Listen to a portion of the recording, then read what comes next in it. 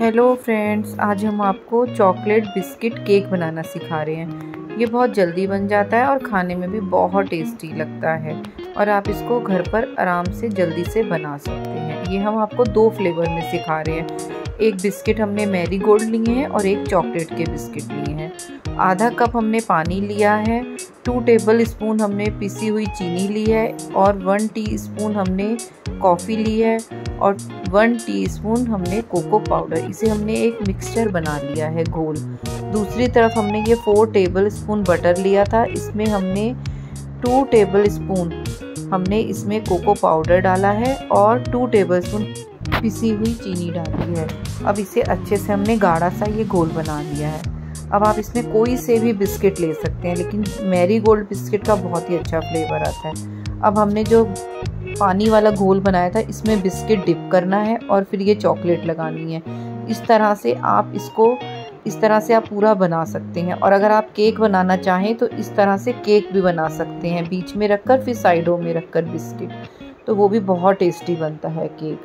ये देखिए, इस तरह से हमने इसको थोड़ा सा नीचे रख कर ये ऐसे थोड़ी सी चॉकलेट की ये क्रीम सी लगाकर अच्छे से शेप दे दी है।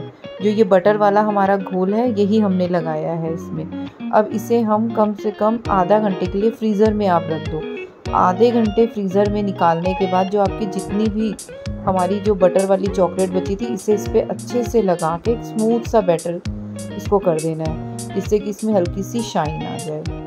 अब आप इसको ऐसे ही पीसेस में कट करके खा सकते हैं।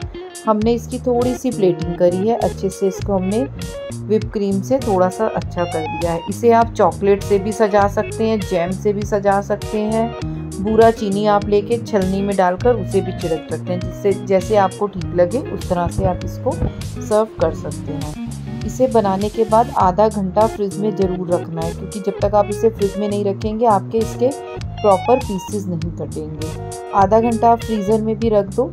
कभी भी घर में कोई गेस्ट आता है, इस तरह से बहुत फटाफट बनाओ और सर्व करो। नए तरीके की एक डिश बन जाती है, बहुत जल्दी बन जाती है और खाने में भी बहुत टेस्टी लगती है। अब इसे हमने विप क्रीम से थोड़ा सा इस तरह से कर दिया अब हमारे पास ये गोल्डन स्टोन्स हैं। इटेबल है, मोती टाइप के। इससे हमने इसको देख के सजा दिया अब इसे हम आधा घंटे के लिए फ्रिज में रख दिया।